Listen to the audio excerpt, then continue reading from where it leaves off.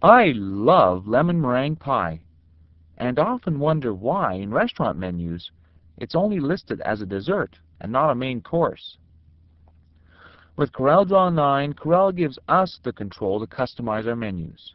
It's all designed to help us save time and make the powerful CorelDRAW 9 easier to use. To do this, click Tools, Options, Customize, and then Menus. On the left are all the commands CorelDRAW 9 can perform, divided into subcategories. On the right are the different menus included in CorelDRAW 9. We'll work with the main menu, which is always at the top of the screen. Many of the commands have an ampersand sign. This indicates that the letter following the sign is the letter you can use to navigate using the keyboard. For example, the File menu item can be opened in CorelDRAW 9 by pressing Alt-F, the letter right after the ampersand sign. If we click on a command in either window to highlight it, the details about the command appear here.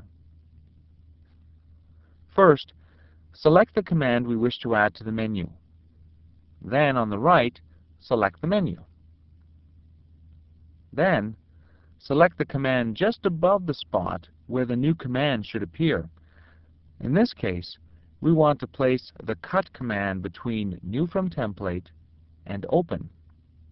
So we click on New from Template and then press the Add button. And the cut command appears just after the highlighted command. If we wish to move our new command or to rearrange any of the commands in the menu, highlight the command and use the up and down keys to shift them around. The Remove button deletes the highlighted command from the menu list on the right. We can also add a separator line after the highlighted command in the menu list. This helps to keep similar commands grouped together.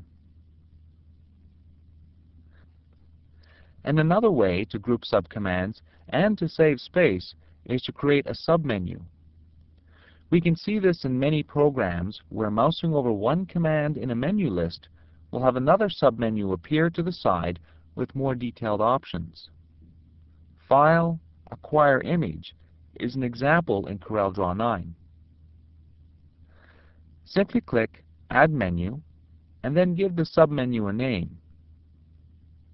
From here, feel free to add any commands from the left as desired.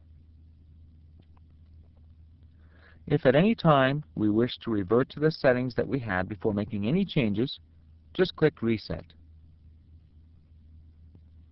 All in all, it seems that CorelDRAW 9's customizable menus are a recipe for success.